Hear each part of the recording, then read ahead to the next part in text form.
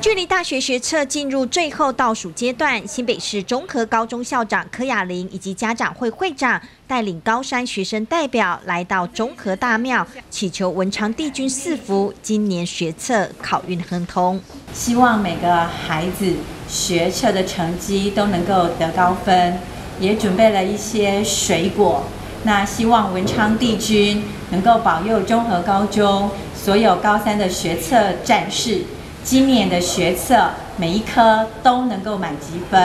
来拜一下文昌帝君，那让他心灵上一个比较一个安安宁的一个感觉，那让他可以比较沉冷静一下，啊身体的身体的沉淀一下，他可以应付这个考试，他祈求一个文昌帝君来保佑我们学校的同学学生来讲，可以拿考到一个比较好的成绩。祈求文昌帝君保佑，诚心燃上清香一束。校方安排丰富贡品祭拜，贡品青葱代表聪明，芹菜代表勤学，菜头象征好彩头，还有象征意义特别讨喜的包子、粽子，一定要包中。希望高三学生最后冲刺成功在望。高中三年我也很努力，然后我的目标是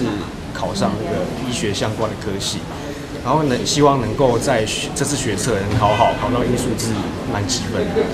数位时代准考证被应考资讯取代，祈求金榜题名传统习俗，拿准考证绕香炉，改由校长陪同高三学生，以全部考生应考资讯绕香炉三圈，求文昌帝君保佑综合高中考生们考试顺利，下笔解答有如神助，一举考上理想大学。记者林丽如新北报道。